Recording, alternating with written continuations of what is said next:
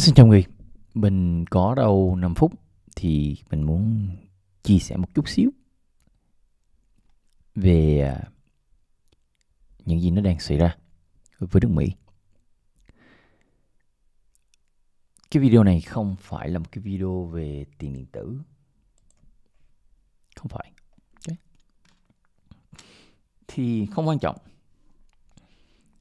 là Trump sẽ thắng cái bầu cử. Biden thắng hay là thua hay là Trump thua. Thực sự uh, những người tổng thống thì họ chỉ là những con rối trên một bàn cờ của những cái thứ nó lớn lao hơn. Ok? Chỉ là con rối thôi trong gì hết ok không quan trọng Biden cho uh, Biden thắng Trump thắng vân vân vân vân vân vân vân vân và vân vân. Ok. Những tổng thống vẫn là những con rối của ờ, một cái nhóm. Vậy thôi. Okay. với cái nhóm đó thường thường người ta sẽ mặc màu đen bận màu đen. Thì uh, nó là vẫn vậy ok sẽ, sẽ không thay đổi cho mấy. Vì cái vấn đề mà mình trước đây mình đã nói là kinh tế của Mỹ uh, đang nằm trên đang đứng trên cái chân cuối cùng. Sau đó mình đổi thành cái ngón chân cuối cùng. Thì cái suy nghĩ nó vẫn vậy nghe nó nó sẽ không thay đổi cho mấy. Ok? Cái um, gọi là cái cái cái cái sự sụp đổ vẫn vẫn nằm ở đây. À, gọi là cái đế chế ok? Gọi là thay đổi thay đổi một đế chế. Có nghĩa là nước Mỹ sẽ xuống và những cái nước khác lên lãnh đạo thế giới thì nó đang xảy ra luôn rồi. Thì bởi vậy là gọi là cái cái bầu cử này nó sẽ um, giúp một phần về tiền điện tử đúng không? Uh, Trump lên nói cái này cái nọ về BTC thì anh sẽ bay.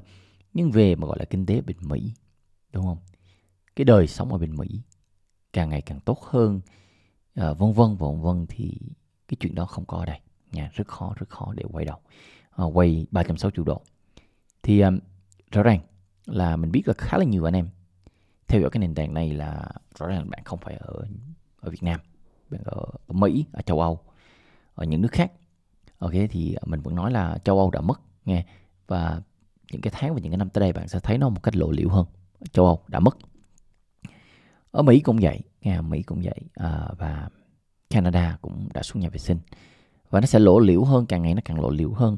À, ngay bây giờ nếu bạn nhìn ở okay, thì lâu lâu mà nhìn chứ mình cũng không có mình quá bận rộn thì nó và nhìn phải nhìn đúng chỗ chứ nhìn những cái chỗ sai thì bạn cũng không có thông tin đâu ok? Thì uh, những cái nước đó nó đã nó, nó đã nó đã chết và nó đã uh, nó đã chết và đó là một cái thiết kế đó là một thiết kế của uh, của những cái nhóm một cái nhóm nhỏ nhỏ lãnh đạo thế giới này thôi ok? Những cái nhóm mà bạn không bao giờ thấy thấy khuôn mặt của họ ok? Uh, lâu lâu thì nó lộ ra chút xíu thôi nhưng mà rất là khó để để để để thấy họ ok? Thì nó là vậy. Thì uh, cho những người nào mà những người Việt nghe được thông tin này thì bạn nên có một sự sắp xếp trong tương lai tới đây. À, có nên rời nước Mỹ hay không hay là rời một hay là đi qua một nước khác vân vân vân vân hay là quay về Việt Nam? Vân vân vân vân thì bạn nên có một sự sắp xếp bởi vì uh, đồng tiền đô la sẽ mất giá sẽ đi xuống nhà vệ sinh kinh tế của nước Mỹ sẽ không phát triển. Ok lạm phát thì nó sẽ vẫn đi lên đúng không? Vẫn đi lên ok? Người ta phải cần in tiền để trả nợ chấm hết. Không không có cái cách nào mà hơn qua cái cách đó hơn hết à, một người ta in tiền hai người ta gơ dơ cái cờ trắng à, cái cái lá cờ trắng lên. À, lá cờ phá sản thì chuyện đó sẽ không có xảy ra. Lúc người ta có cái máy in thì người ta sẽ cố gắng người ta in. In tới khi tiền trở thành giấy um, giấy mà gọi là nó quăng đầy đường ok? Cũng giống như bao nhiêu nước đã trải nghiệm cái thứ đó trong lịch sử. Thì là vậy nha. Thì cho những người nào người việt ở bên Mỹ thì bạn nên có một sự sắp xếp, một sự tính toán gọi là gọi là plan A. Plan A là làm cái này. Mà lỡ mà cái plan A không được thì mình có một cái plan B hoặc cái plan C để để để để để giúp bạn, đúng không?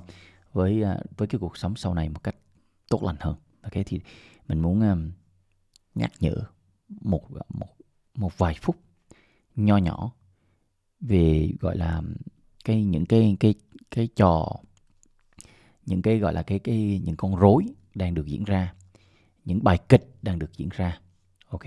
Những bài kịch đang được diễn ra. Ok thì thì đó chỉ là những cái à, những cái thứ mà nó không có quan trọng cho mày ok? À, không quan trọng tổng thống nào lên ok? Thì ông tổng thống chỉ là con rối của cái coi trò chơi cái sự sắp đặt ok? Một sự sắp đặt đó người ta biết chứ không phải là không nha. Sự sắp đặt đó người ta biết chứ không không phải là không. Nhưng mà chủ yếu là có mạnh mẽ đến nỗi mà lật đổ nó hay không? Còn số nhiều là số nhiều người ta sẽ vậy thôi ok. À, cơm áo gạo tiền. À, thì à, người ta sẽ sống cái cuộc sống của người ta ok. À, nhưng mà tất cả mọi thứ nghe tất cả mọi thứ à, nó có tay chân trong tất cả mọi thứ. Cũng giống như về tài chính ok về tài chính. Ok à, BlackRock không phải là cái công ty mà nó đại diện bạn để nó giúp bạn làm giàu đâu không phải đâu nghe ok. À, vân vân và vân vân. Thì thì nó là vậy vậy thôi một suy nghĩ ngắn ok nó không liên quan với với mặt tài chính nhưng uh, cho những người theo dõi cái nền tảng này tiền academy thì bạn nên có một sự sắp xếp trong tương lai tới đây ok? Bởi vì nước mỹ sẽ sập trong những năm tới đây những năm tới đây. Nó có thể là trong 10 năm tới đây 15 năm tới đây ok 20 năm tới đây.